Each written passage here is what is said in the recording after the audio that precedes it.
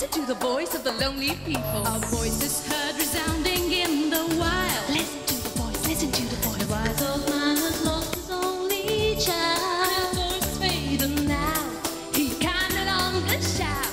The wise old man was told to shut his mouth.